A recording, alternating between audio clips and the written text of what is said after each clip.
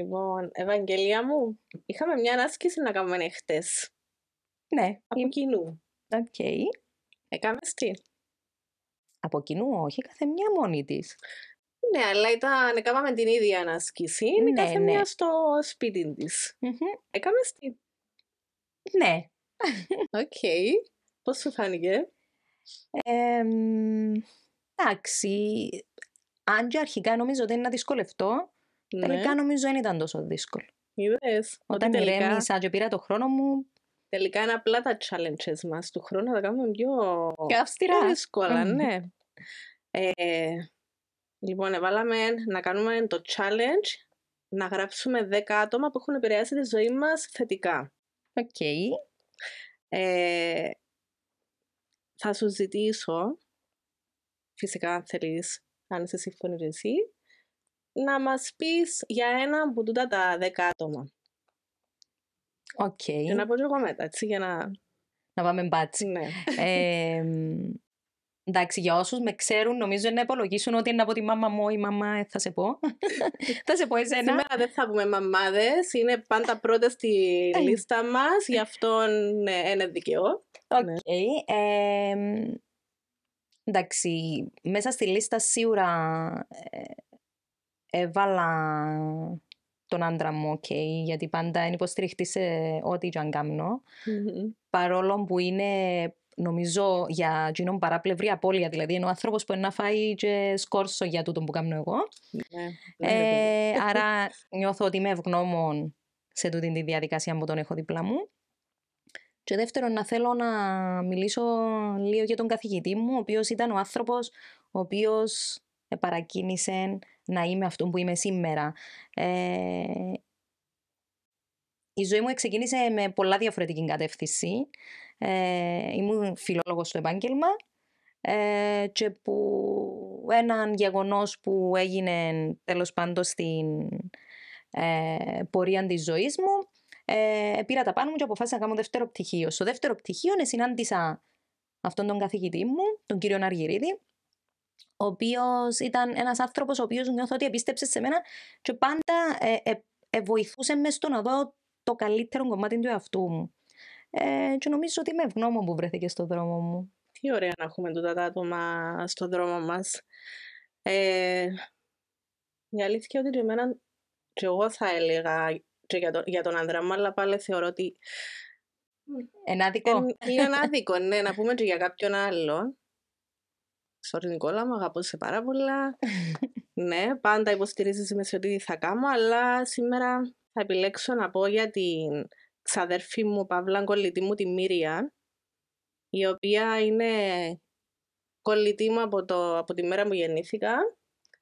Ε, είναι πάντα δίπλα μου σε ό,τι κάνω. Ε, και πριν πολλά χρόνια έκλεισε ένα ραντεβού για μένα που τούτο το ραντεβού άλλαξε ριζικά όλη μου τη ζωή. Και είμαι πάρα πολύ ευγνώμων γι' αυτό.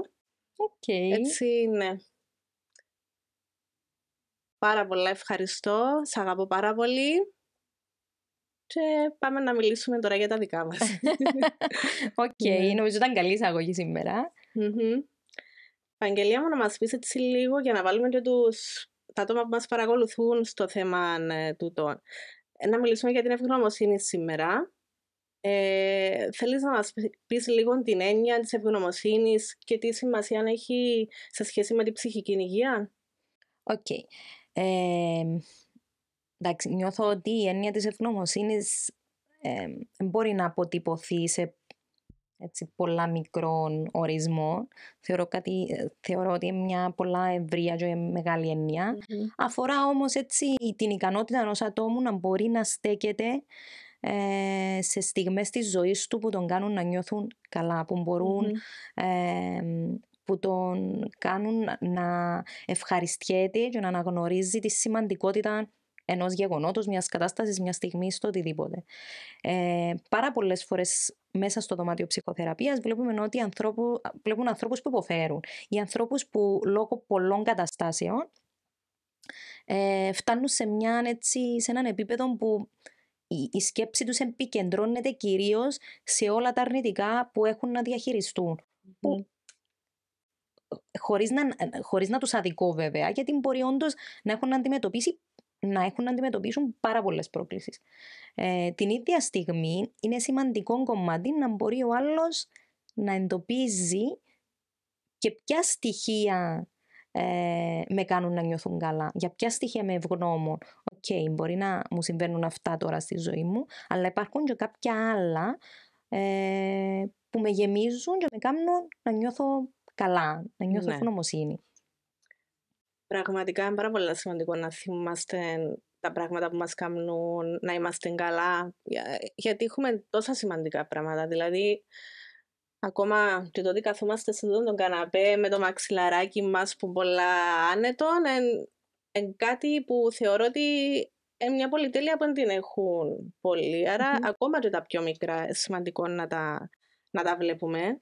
Μπορούμε να με κάποιον τρόπο την έννοια της ευγνωμοσύνης να τη διδαχτούμε από μικρή ηλικία, αν πιστεύεις, Ευαγγελία μου; OK. Okay. Ε, νομι... πολύ σημαντικό, γι' αυτό σε ρωτώ. ναι. Νομίζω ότι βέβαια, όντως, μπορούμε να την.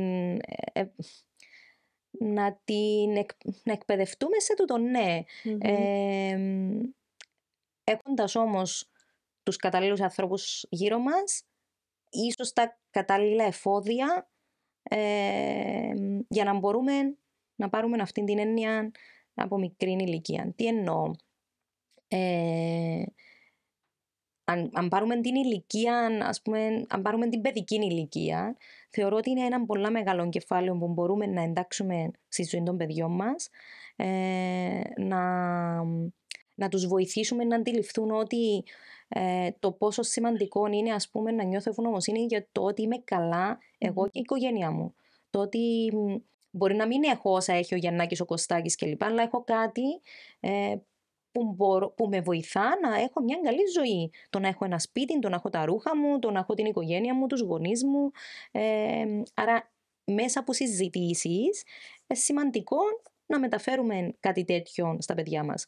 Παρ' όλα αυτά για να μπορεί ένα παιδάκι να το αντιληφθεί αυτό το πράγμα, χρειάζεται κάπως και εμείς σαν γονείς να το εφαρμόζουμε στην πραξη Δηλαδή να μπορώ σε μια δύσκολη κατάσταση της ζωής μου να του δείξω ότι ναι παίρνω μια δυσκολία, αλλά είμαι ευγνώμων που έχω, για παράδειγμα, εσάς στη ζωή μου και με στηρίζετε, ας πούμε.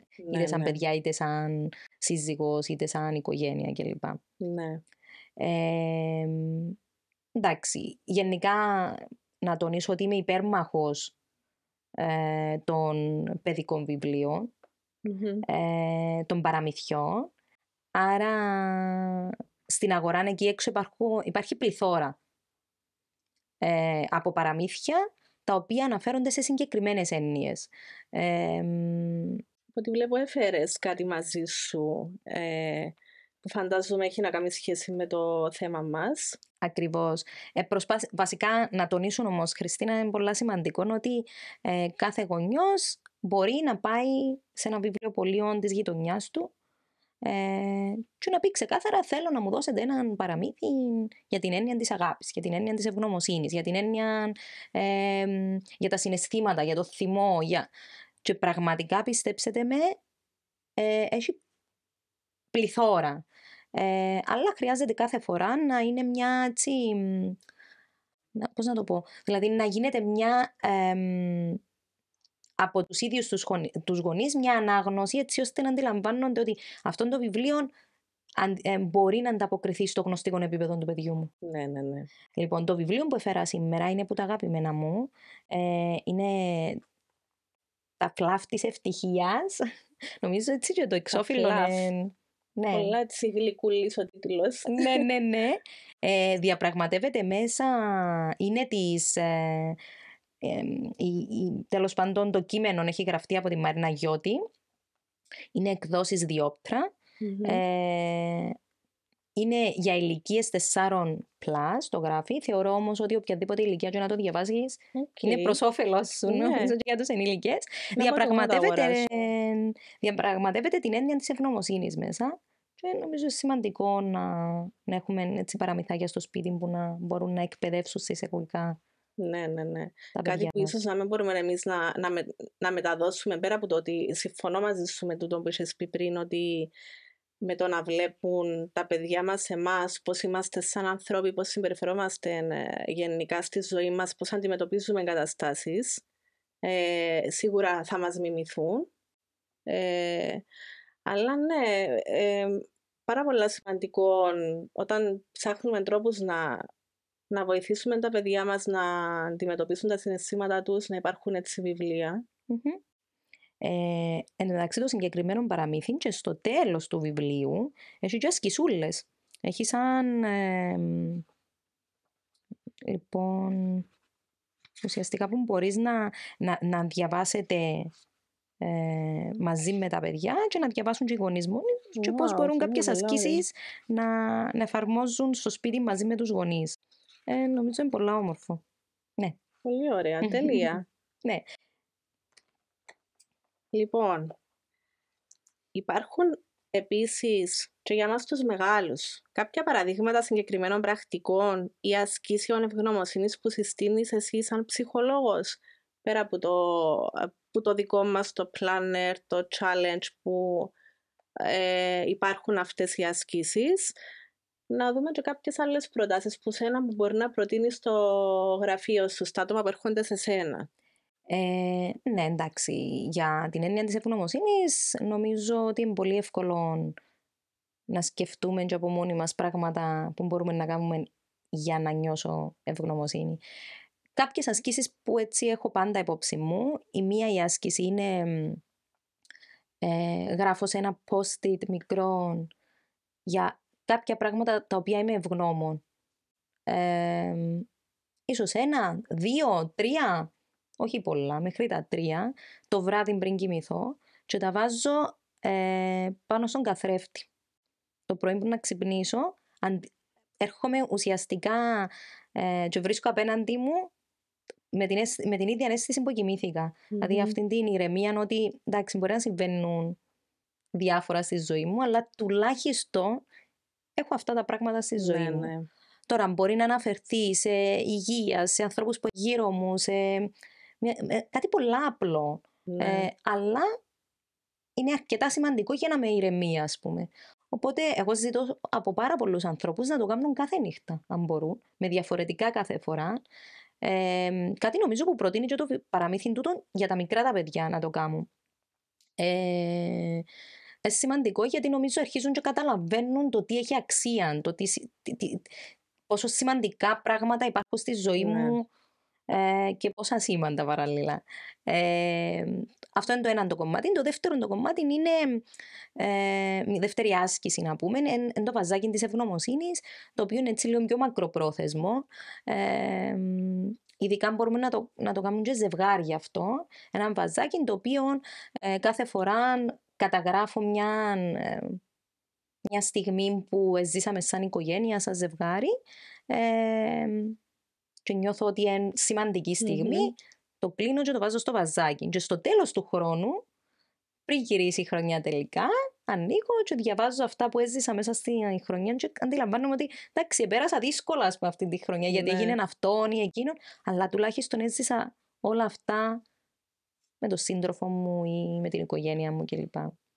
Τέλειο τούτο που λες. Ναι. Θέλω να πω κάτι που κάνω εν τω μεταξύ που είναι παρόμοιο, αλλά τώρα που πρότεινες το βαζάκι είναι να το, για να το κρατώ και μέσα με έτσι λίγο πιο καλά, να το εφαρμόσω. Πολλές φορές μπορεί να, να κάνουμε κάτι έτσι πολλά τρελό, ας πούμε, στο σπίτι, να χορεύουμε εγώ, ο άντρας μου και το μωρό. Ε, και γενικά ότι να κάνουμε μεταξύ μας οι τρεις, να γυρίζω πολλές φορές και να του λέω, ας πούμε, του Νικόλα, ότι ξέρεις, τούτη η στιγμή που ζούμε τώρα είναι μια ευτυχισμένη στιγμή. Ναι. Να τη θυμούμαστε, να τη φυλάξουμε. Ξεκίνησα το εγώ πρώτη.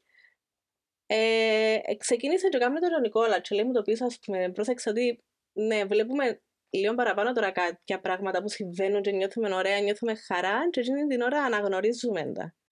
Αλλά θα ήταν πολλά ωραία πραγματικά να μπαινάς σε τούτο το βαζάκι και να τα θυμάσαι μετά. Ότι πόσα ωραία πράγματα μου τυχαίνουν κάθε μέρα που μπορώ να τα προσπεράσω. Εντάξει, νομίζω ότι όσο μεγαλώνοντας και τα παιδιά μας, μπορούμε να βάζουμε και τα παιδιά σε αυτή τη διαδικασία. Δηλαδή, γράψε και εσύ Ναι. ένα σημείωμα και πρόσθεσε το μέσα, στην, μέσα στο βαζάκι. Επίσης, ε, ξέχασα που ήθελα να το αναφέρω και τούτον, είναι ότι ε, γενικά η, η ειδικότητα μου, να πούμε τέλος πάντων, έχει να κάνει με διατροφικές διαταραχές και με θέματα που αφορούν την εικόνα που έχουμε για το σώμα μας. Ε, σε κάποια φάση είχα εκπαιδευτεί σε ένα συγκεκριμένο παρεμβατικό πρόγραμμα το οποίο αφορούσε γυναίκες ε, Μμμ. και είχε να κάνει με το πώς βλέπουν την εικόνα του σώματος τους, δηλαδή να βελτιώσουν την εικόνα του σώματος τους. Ε, το οποίο λέγεται Body Project, αποτελείται από τέσσερις συναντήσεις, ε, μια ομάδα ας πούμε, γυναικών των 6 με 8 ατόμων. Ε, είχα πάρει εκείνο το πρόγραμμα και το είχα εφαρμόσει σε γυναίκες που έχουν γεννήσει τα τελευταία πέντε χρόνια. Αυτό που ε, διαπίστωσα με τα λύπης μου ήταν ότι στην πρώτη συνάντηση, ε, όταν έπρεπε να γνωριστούμε και να κάνουμε κάποιες ασκήσεις, ε, διαπίστωσα ότι ενώ είχαν όλες περάσει από τη διαδικασία της γέννας, ε, επικεντρώνονταν τόσο πολλά στην εικόνα τους, στο πώς εφαίνεται για το σώμα τους και ξεχνούσαν ότι ουσιαστικά εζήσαν, τουλάχιστον για μένα έτσι νιώθω, το απόλυτο θαύμα. Ναι. Το να μπορώ να φέρω στον κόσμο έναν υγιές μωρό. Εξεχνούσαν το, το πόση δύναμη θέλει εκείνους τους 9 μήνες και μετά να φέρω στον κόσμο ένα μωρό και να μπορώ να το μεγαλώσω και να είναι υγιές και Μμμ. εγώ και το μωρό μου και η οικογένεια μου γενικά.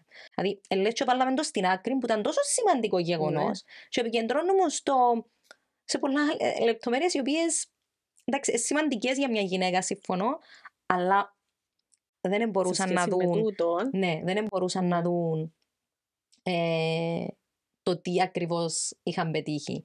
Οπότε νιώθω ότι και σε εκείνη την περίπτωση έπρεπε με έναν τρόπο να κινητοποιηθούν και να αρχίσουν να νιώθουν ευγνωμοσύνη για το τι πραγματικά είχαν καταφέρει. ναι. Αυτά. Οκ.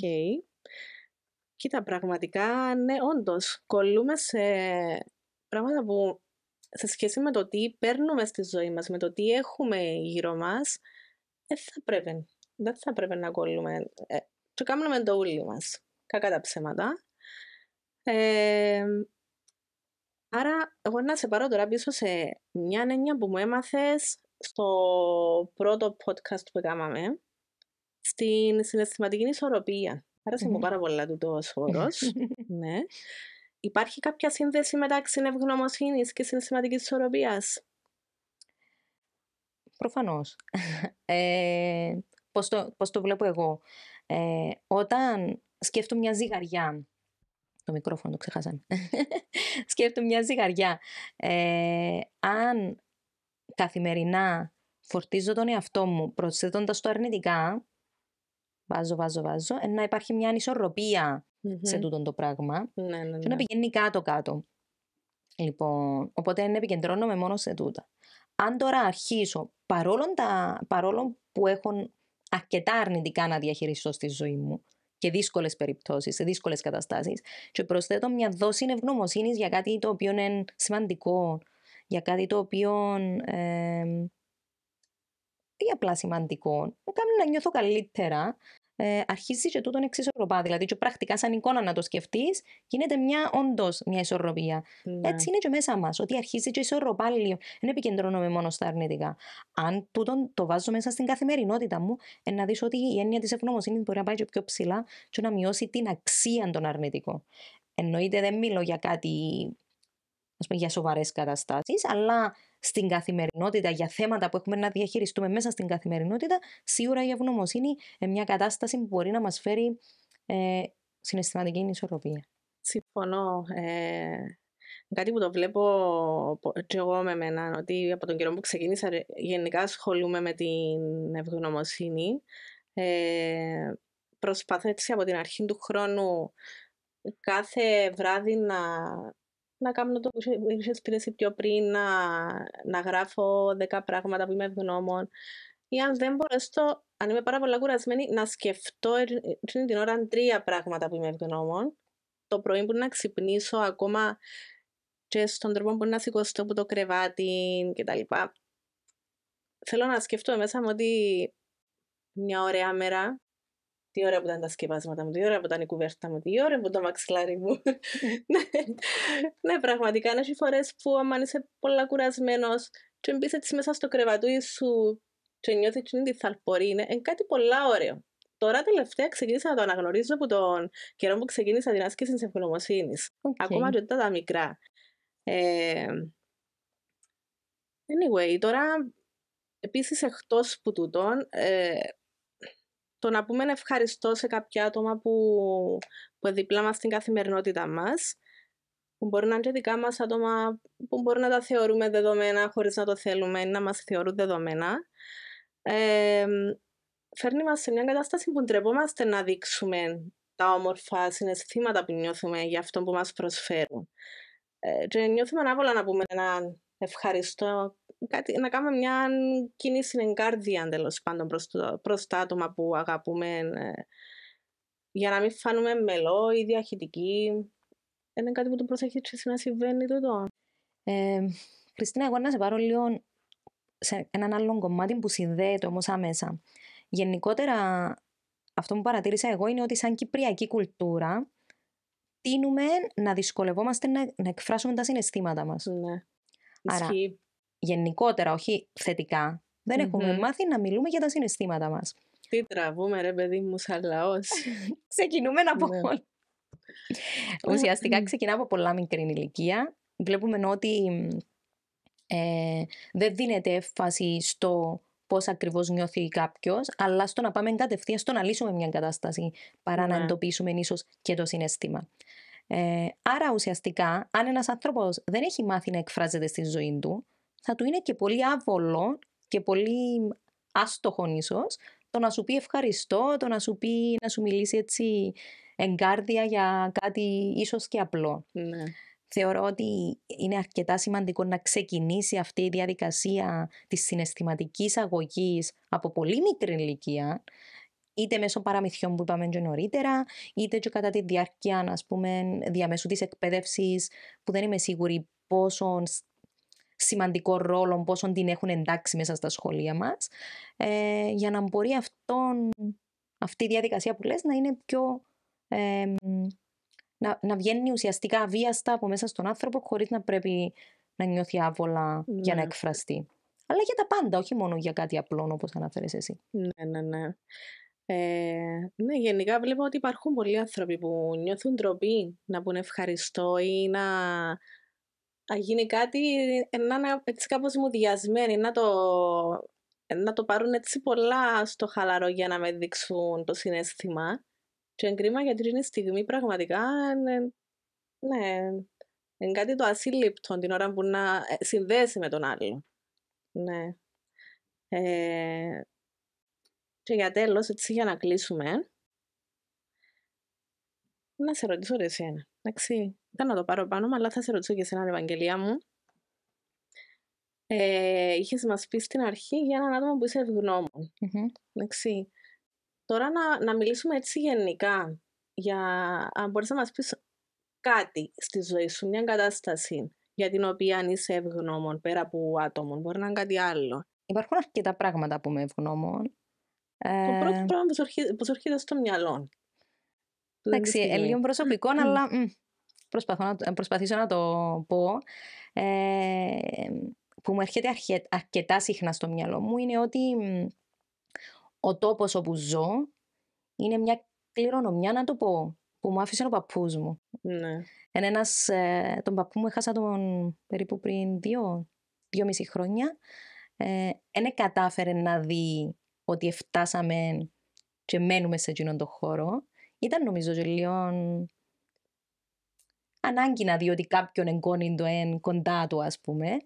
Ε, και είναι ένας χώρος που νιώθω πραγματικά ευγνωμοσύνη γιατί κάθε φορές που μπορεί να ξυπνήσω το πρωί και να κάτσω έξω να πιω τον καφέ μου παρόλο που γκρίωνει. Εντάξει, το καλοκαίρι κυρίως συμβαίνει τούτο, να κάτσω έξω και να ρεμβάζω κάτω και να νιώθω ευγνωμοσύνη ότι ο παππούς με κατάφερε και αφήσε μου τούτο. Ναι. Και έχω τώρα, εγώ σήμερα, όχι μόνο εγώ, να το ζω και ολόκληρη η οικογένεια μου. Θεωρώ ότι είναι. Και η απογόνη του. ναι, θεωρώ ότι είναι ναι. ένα έχει πάρα πολλά πράγματα που είμαι ευγνώμων, αλλά για τούτον είναι έτσι πιο έντονο τον τελευταίο mm-hmm. διάστημα στη ζωή μου. Οκ, λοιπόν, θα πω και εγώ το δικό μου. Εγώ θα συνεχίσω με τα άτομα.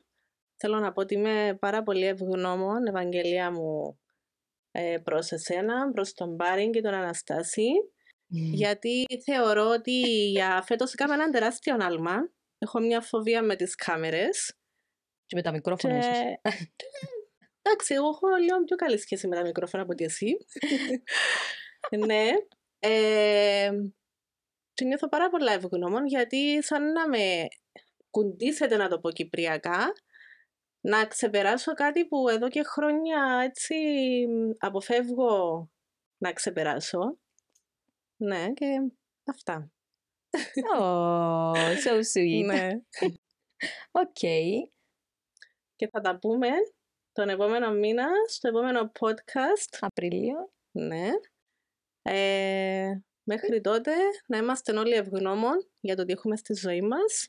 Και να το βάλουμε στη ζωή μας. Ναι. Την έννοια της ευγνωμοσύνης. Αυτά.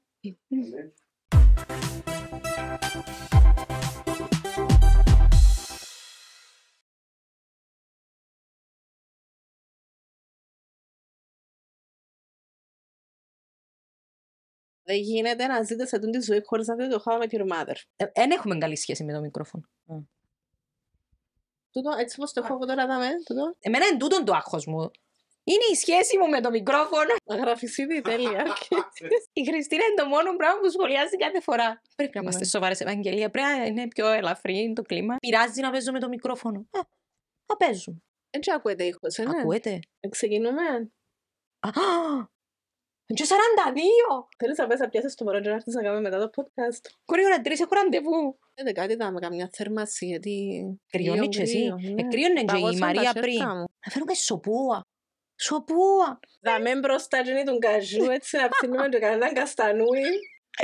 Τώρα γίνεσαι πιεστική, εντάξει. Εντάξει, συγγνώμη. Παίρνω το πίσω. Δεν είμαι ευγνώμων που είσαι πιεστική. Ναι, Μην το απολαμβάνω βαθιάσεις, το. πάμε. Μα ούλα με εκεί. Εντάξει, έλα σου πω, με βάλεις βλακίες όμως μέσα. Ναι. Να χαρείς ότι αγαπάς. Πραγματικά σε φάσεις που συγκινούμε σήμερα. Σχέση με το μικρόφωνο ως τώρα. Σε παρακαλώ να τα έβρεις με το μικρόφωνο και να του ζητήσεις συγγνώμη και να το πεις και ευχαριστώ.